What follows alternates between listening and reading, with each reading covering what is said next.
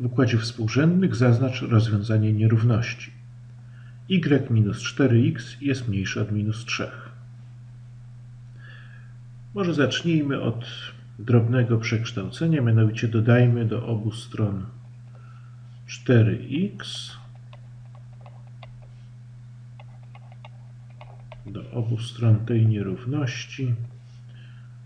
W ten sposób dostajemy tak y mniejsze od 4x minus 3. Prawda? To jest teraz nasza nierówność. No i gdzie leżą punkty, których współrzędne spełniają tę nierówność? No powiedzmy, weźmy sobie x równe 0. Prawda? x równe 0, czyli ustaliliśmy, bierzemy punkty na tej osi y, no to dla x równego 0 otrzymujemy y jest mniejsze od minus 3. Aha, czyli mamy tutaj punkt minus 3, raz minus na minus 3. Może tego narysujmy. I wszystkie punkty na tej prostej poniżej punktu minus 3. No dobrze, weźmy teraz na przykład x równe 2, no to otrzymujemy y mniejsze od 4 razy 2 minus 3, czyli 5. Czyli x równe 2, czyli teraz jesteśmy na tej prostej i y ma być mniejsze od 5. Raz, dwa, trzy. Raz, dwa, trzy, cztery, pięć.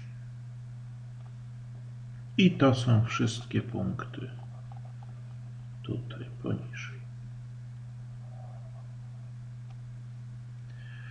Teraz co się właściwie tutaj dzieje? No widać, że dla każdego x otrzymamy tego rodzaju, tego rodzaju rozwiązanie, prawda? Że dla każdego x otrzymamy y, które muszą być mniejsze od czego? No właśnie od 4x minus 3. Czyli jeżeli narysujemy sobie prostą y równe 4x minus 3, i wtedy to wtedy dla ustalonego x wszystkie punkty, których współrzędne spełniają tę nierówność, to będą punkty pod prostą 4x minus 3.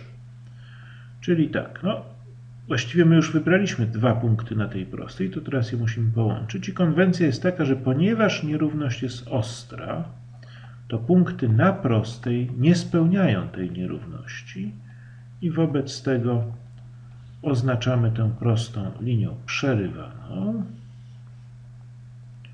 czyli to jest prosta y równe 4x minus 3. I tak jak mówiłem, dla każdego x punkty, które spełniają tę nierówność leżą pod, pod tą prostą, no, czyli rozwiązaniem tej nierówności są jest taka półpłaszczyzna, są to wszystkie punkty, które leżą pod prostą y równe 4x minus 3. No, czyli wszystkie, wszystkie punkty